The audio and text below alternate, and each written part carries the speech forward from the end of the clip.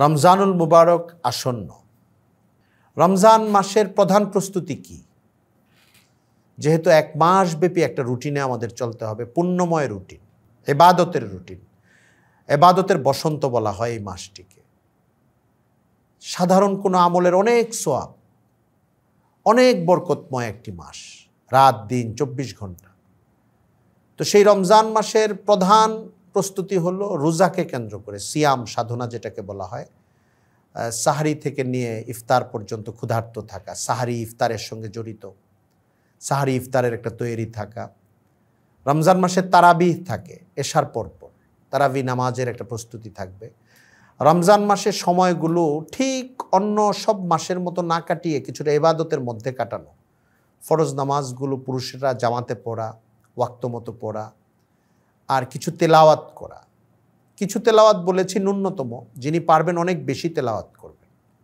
যাদের তেলাওয়াত জানা নাই, তেলাওয়াত শিখবেন এই সময়ে। অন্তত আগেও শিখতে শুরু করতে পারেন। দিনই বইপত্র, দিনই হাফলা, জলসা, হালকা এবং একটা পরিবেশের মধ্যে সময় কাটানো এবং কীভাবে কীভাবে এই রুটিনগুলো ভঙ্গ হতে পারে, এই জায়গাগুলো থেকে নিজেদেরকে দূরে রাখা। যেমন ধরুন আপনি সাহারি থেকে শুরু হলো, সাহারির তৈরিটা কেমন হবে? আমার বাসায় সাহারির প্রতিদিন ডাকার মতো অ্যালার্মের জন্য ঘড়ি অথবা আশপাশের বাসা তাদেরকে আমি সজাগ করতে পারি, তারা আমাকে সজাগ করতে পারে। আমার পার্শ্ববর্তী মসজিদের মাইক থেকে কোনো ঘোষণা দেওয়া হয় কিনা? আমি কীভাবে সজাগ হব? আমার পরিবারের কয়জন সদস্য রোজা রাখবেন? এই বিষয়গুলোর ক্ষেত্রে আমি আরও কয়জনকে সহযোগিতা করতে পারি? সাহারি পালন বা সাহারিটাকে খাওয়ার ক্ষেত্রে কেউ যেন সজাগ হওয়ার পরিস্থিতি থেকে বঞ্চিত না থাকে, এটার একটা চিন্তা আগে থেকে রাখা এবং এইভাবে প্রস্তুতি গ্রহণ করা। সাহারি খুব ন্যূনতম খাবার হলেও খাওয়া উচিত। ফিসহরি বারাকা। সাহারিতে বরকত রয়েছে। তো এবং রমজানে এটা স্বাস্থ্যগতভাবেও এটা মুনাসিব যে দীর্ঘ একটা সময়, এখন প্রায় তেরো চোদ্দ ঘণ্টা হবে সম্ভবত সময়টা। তো এই সময়টার মধ্যে যেন শুরুতে খেয়ে নেওয়া এবং ইফতারের সময় ইফতার করা, এটার একটা খুব ন্যূনতম প্রস্তুতি থাকা। ইফতারের প্রস্তুতিও ওইভাবে রাখা। যারা বিভিন্ন চাকুরি পেশাজীবিতার সঙ্গে জড়িত, বাসায় আসবেন, ইফতার কোথায় করা, এটার প্রোগ্রাম ঠিক রাখা, বাসার মানুষজন কি করবেন, কোথায় করবেন? এবং কখনো ইফতারের সময় আগে চলে আসবেন না, পরে আসবেন বাসায়, এটা চিন্তা করা। কিছু মানুষকে ইফতারে যুক্ত রাখা, নিজের সকল আয়োজনের সঙ্গে। সাহারি এবং ইফতার উভয় ক্ষেত্রে আমাদের সমাজের প্রান্তিক মানুষদেরকে যুক্ত করার চেষ্টা করা। এটা ঢাকার ভেতরে হতে পারে, বাইরে হতে পারে, আত্মীয় স্বজনের ক্ষেত্রে হতে পারে। রমজানের দান খয়রাতের অনেক সোয়াব তো সাহারি আর ইফতারই তো রমজানের প্রধান খাবার, এরপরে সন্ধ্যারাতের আর একটা খানা থাকে। এই আয়োজনগুলোর ক্ষেত্রে যার সামর্থ্য, সচ্ছলতা আছে, যেন অন্যদেরকে কিছু সহযোগিতা করা যায়, আমরা সোয়াব অর্জনের নিয়তে এই কাজগুলো করতে পারি। আর জামাতের সাথে নামাজ পড়ার বিষয়টা আগে থেকে চিন্তা করে রাখতে পারি। এবং তারাবি আমরা কোথায় পড়ব? আমার রুটিনটা আমি ওইভাবে মোয়াফেক বানিয়ে নিতে পারি। প্রতিদিন যদি আমার ইফতার বাসার মহল্লায় হয় এবং এরপর থেকে বাসায় থাকা হয়, এখানকার কাছাকাছি কোনো মসজিদ যেখানে খাতম কোরআনের তারাবি হয়, সেখানে আমি কীভাবে যুক্ত হব? প্ল্যান করা, পরিকল্পনা করে রাখা এবং মসজিদের সময়গুলো জেনে রাখা। অনেকের অসুস্থতা থাকে রমজান মাসের আগে ডাক্তারের সঙ্গে পরামর্শ করে নেওয়া, পর্যাপ্ত ওষুধ নিজের সঙ্গে রাখা, সাহারি, ইফতার ইত্যাদির ক্ষেত্রে কখন কখন ওষুধ খাওয়া, না খাওয়া এগুলি চিন্তা করা।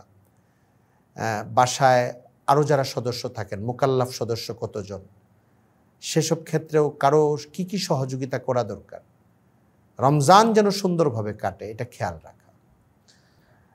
এবং এখন একটা সময় যাচ্ছে যে অনেকের হাতেই টাকা পয়সাটা কম। রমজানে একটা ভালো টাকা পয়সা খরচ হয় সাহারি, ইফতারের ক্ষেত্রে। তো এখন অনেক মানুষকে সহযোগিতা করার ক্ষেত্রটাও এই সময়ে থাকবে। নিজেদেরও কীভাবে নিজের প্রয়োজনীয় খরচটা করে ব্যাপক কেনাকাটা করতে গিয়ে বাজারে সমস্যা তৈরি না করা আর নিজেরও একটা অপচয়ের দায়ের মধ্যে না পড়া, এই জিনিসগুলো আমরা খেয়াল রাখতে পারি। ইফতার, সাহারির সময় অনেক সময় মনে চায়, অনেক কিছু সামনে রাখতে। খাওয়া যায় না আসলে, মনে চায়। তো এখানে যেন আমরা অপচয় থেকে বাঁচতে পারি। বিশেষ করে যারা খুব উচ্চবিত্ত মানুষ, তারা চাইলে দশ হাজার টাকার ইফতারও করতে পারেন, পাঁচ হাজার টাকার ইফতার করতে পারেন, কোনো বড় বড় হোটেলে যেতে পারেন। আবার চাইলে সবচেয়ে দামি ইফতারটাও কয়েকশো টাকায় শেষ করে ফেলতে পারেন আর বাকি টাকাটা গরিবের মধ্যে বিলিয়ে দিতে পারেন।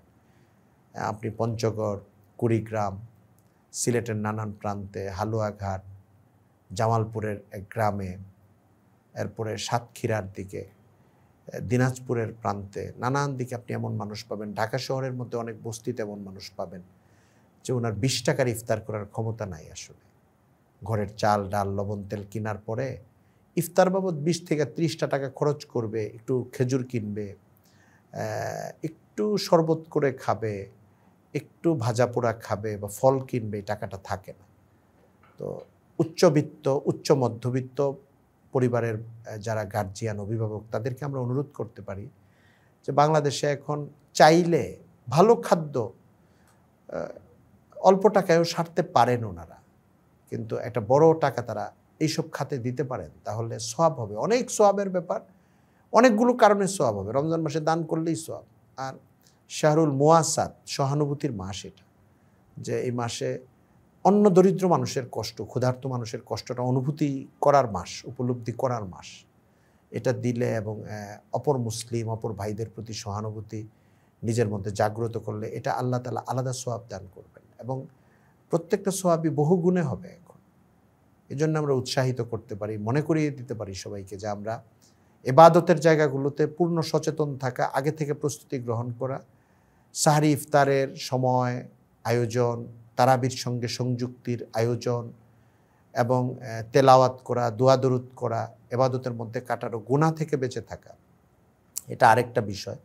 আমাদের নাগরিক জীবনে অনেক মানুষই এমন আছেন যে রোজা রাখবেন কিন্তু পুরাপুরি গুনার জীবন থেকে পরিবার মুক্ত না। বাসায় বড় টেলিভিশন আছে, সারাদিন বাঁচতে থাকে এবং অনেকে অনলাইনের মাধ্যমে অনেক মানে একটু খোলামেলাই চলেন। এমনও লাখো লাখো মানুষ রোজা রাখেন আসলে, মুসলিম। তাদের কাছে আমরা অনুরোধ করতে পারি যে আপনারা, এই টাইমটায় কীভাবে মুক্ত থাকা যায়? একটু উদ্যোগ নিয়ে, পরিবারে সবাইকে বুঝিয়ে এইসব গুণাখাতার আয়োজন থেকে বাইরে থাকা, এটার চেষ্টা করা। আরেকটা জিনিস এখানে আমাদের খেয়াল রাখা যেতে পারে যে, রমজানের উপযোগী কিছু পরিবেশ আছে, ওইটা যেন আমরা রক্ষা করি। হোটেল, খাবার, প্রকাশ্যে বিড়ি, সিগারেট খাওয়া, পান খেতে থাকা, চা খাওয়া। অনেককে জিজ্ঞেস করলে অনেকে খুব সাধারণভাবে উত্তর দেয় যে, আমি রোজা রাখি নাই, আমি খাচ্ছি, আমার শরীর খারাপ। তো এটা প্রথমত রোজা রাখার উপযোগী কোনো মানুষ যেন এটা না করেন। এটা নিজেদের দায়িত্বে। কেউ তো আপনাকে মারতে যাবে না, ধরতে যাবে না। এটা নিজের দায়িত্ব। কেউ যদি এমন থাকেন যে উনি রোজা রাখছেন না অসুস্থতার কারণে অথবা অন্য কোনো অপারগতা আছে, অথবা অমুসলিম অথবা মুসাফির, তো ওনাদের রমজান মাসের দিনের বেলায় প্রকাশ্যে চা খাওয়া, প্রকাশ্যে সিগারেট খাওয়া, একটু জানান দিয়ে দিয়ে, এটা হচ্ছে রোজাদারদের সাথে এক ধরনের বিদ্রোহের আচরণ করা। রোজার পরিবেশের মধ্যে একটা উস্কানি দেওয়া, এটা খারাপ জিনিস। আমি এমন তর্ক করতে দেখেছি মানুষকে যে, আপনি রোজাদার, আপনি আমার খানা দেখবেন কেন? আপনার রোজার মহত্ব তো এইটা যে, আপনি সিগারেট নর্মাল টাইমে পান করলেও এখন আমাকে যে দেখছেন সিগারেট খাচ্ছি, তাতেও আপনি শক্ত থাকবেন। আমি খেতে থাকলেও আপনি যে সংযমী থাকবেন, তাতে আপনি সোয়াব পাবেন। মানে যিনি ঝামেলাটা করছেন, উনি উপদেশ দিচ্ছেন রোজাদারদেরকে। তো এটা ভালো। এই উপদেশের মেজাজ ভালো, কিন্তু ওনার অংশটা ভুলে গেছেন উনি। সেই অংশটা হলো সমাজের বিশাল একটা শ্রেণি, আমি তো বলব বেশিরভাগ মানুষ, মুসলিম, যারা রোজা রাখেন, তাদের প্রতি খুব কমন সম্মান দেখানো বা শ্রদ্ধা দেখানোর তো একটা দায়িত্ব তার উপরে পড়ে। এটা তো পয়সা খরচ হয় না, কোনো কষ্টও করতে হয় না, খাবারটা প্রকাশ্যে খাবে না সে। দিনে কয়বার খায় মানুষ? কয়টা সিগারেট খেতে হয়? সিগারেট তো এমনও প্রকাশ্যে খাওয়া নিষেধ, বাংলাদেশে একটা আইন ছিল তো। ফুটপাতে রাস্তায়, দোকানে, হোটেলগুলোর কেন খোলা থাকতে হবে? খোলা রাখলে, প্রকাশ্যে খোলা রাখতে হবে কেন? আওয়াজ দিয়ে করতে হবে কেন কাজটা? সামাজিক সম্মান এবং শ্রদ্ধাবোধ বলতে তো একটা ব্যাপার আছে। এটা তো প্রত্যেকটা মানুষ বুঝে। তো সেখানে রমজান মাসে শহরে, নগরে, গ্রামে, বাংলাদেশের মতো দেশে, একদম আপনি বাংলাদেশে এরকম দু চারটা অঞ্চল পেতে পারেন মহল্লার মতো যে এখানে মুসলিম নাই। পঁচানব্বই ভাগ হিন্দু। যেরকম আপনি যদি তাঁতিবাজারে ঢুকেন, তাঁতিবাজার শাখারি পট্টিতে ঢুকেন, তাঁতিবাজারও না, তাঁতিবাজারও অনেক মুসলিম। একদম ওইটার একটা শাখারি পট্টি একদম একদম হিন্দু অধ্যুষিত একটা গলি বা দুইটা গলি এমন পাবেন। ওখানে যদি কেউ মনে করে যে এইখানে আমার রোজার কোনো রেয়ায়ত করার দরকার নেই, এটা হতে পারে। গোটা বাংলাদেশে এরকম দুই চার পাঁচটা জায়গা পাবেন। বাকি সব জায়গায় এমন যে ফিফটি পার্সেন্টের উপরে মুসলিম। এবং যারা মুসলিম, তাদের ফিফটি পার্সেন্টের উপরে মানুষ রোজা রাখেন। তো তাদের প্রতি এইটুকু কমন ভদ্রতা বজায় রাখুন, নাগরিক হিসাবে আপনি, যে আপনি প্রকাশ্যে খাবার দাবার খাবেন না, রোজা না রাখলেও খাবেন না। আপনি কেন এটা করতে যাবেন? এই জন্যে সমাজের যারা হর্তাকর্তা, সমাজের যারা দায়িত্বশীল মাথা, উনি যে দলেরই করেন, রাজনীতি করেন বা না করেন, প্রভাবশালী যারা, তাদের প্রতি অনুরোধ থাকবে আইনশৃঙ্খলা বাহিনীর লোকজনের প্রতি, নাগরিক প্রতিনিধি যারা, কমিশনার, কাউন্সিলর, এরা থাকেন। হোটেলগুলো প্রকাশ্যে খোলা না থাকে, গান বাদ্য প্রকাশ্যে না চলে।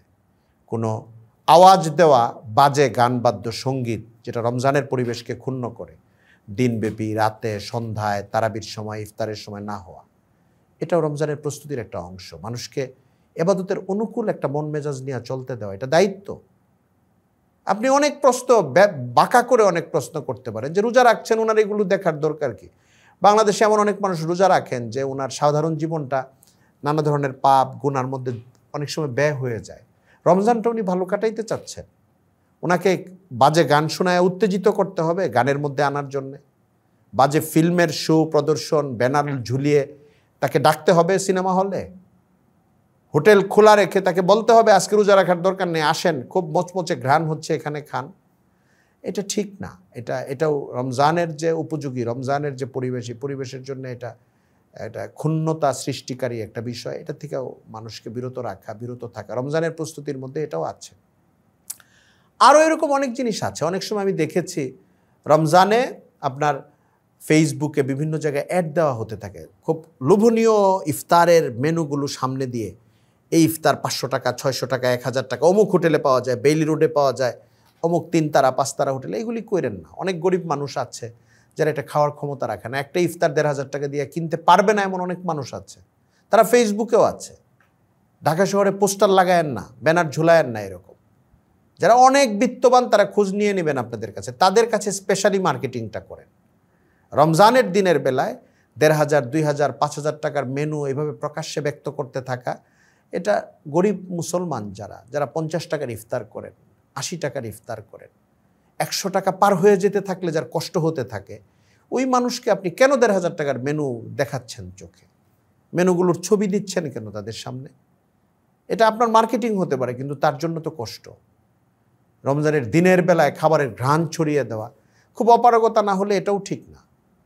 অনেক সময় ইফতারের আয়োজন আসরের সময় থেকে শুরু হয়ে যায়। এটা হতে পারে, আসরের সময় থেকে ইফতার বেশি দেরি না, কিন্তু একদম রাত সকাল দশটা থেকে এগারোটা থেকে একটা মোমো ঘ্রাণ ছড়িয়ে দেওয়া খাবারের হোটেলের আশেপাশে, মহল্লায়, এটা মানুষের জন্য অনেক সময় কষ্ট হয়। এটাকে একটু নিয়ন্ত্রণে রাখা, দায়িত্ব পালন করা দরকার তাদের যা তাদেরই, নিজেদেরই, যে আমরা অন্যদের কষ্টের কারণ না হই, তারা তো রোজা রাখছেন।